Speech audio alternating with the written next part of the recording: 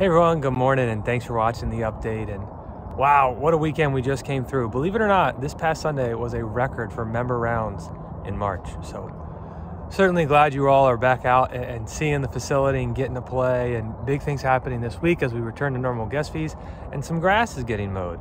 So greens are being mowed, fairways, roughs, they're all starting to green up and it is a wonderful time to be out here. As I said, to return to winter rates, coolers are going back out, rakes on the golf course and some of the amenities you like. The range is open. We are still on the turf for the synthetic tee.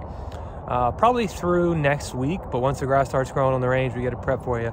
We'll move the membership back off the grass surface, which I know we are all eagerly awaiting and looking forward to. And certainly a big week on the golf course coming up, as that first week of April is just around the corner where all of our leagues start. So the ladies groups, 18 nine holers, and the academy will start. The Tuesday night league, which is back to 10 teams in full so we're really excited to get things going for you.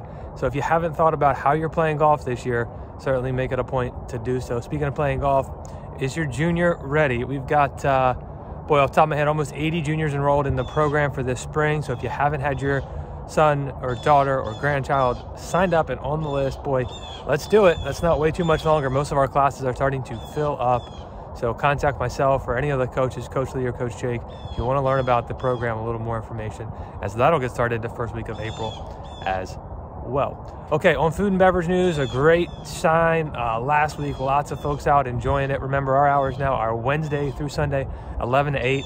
Once we kick into April, we'll open up on Tuesdays and go a little later. But that's our hours right now. And for this week, we really want you to try something new.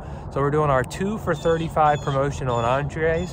So you can come on in, you and your missus can have a, a new entree. There's more on the menu, and it's only 35 bucks for the two of them. So it's a great promotion to get out and maybe, like I said, try something new. If you haven't taken advantage of any of the golf club stuff, boy, please do so. If you haven't gotten fit or ordered your golf balls yet, the delays are only getting worse. I put in a set of irons yesterday and it was eight week quote time. So the longer you wait, literally the longer you're gonna wait.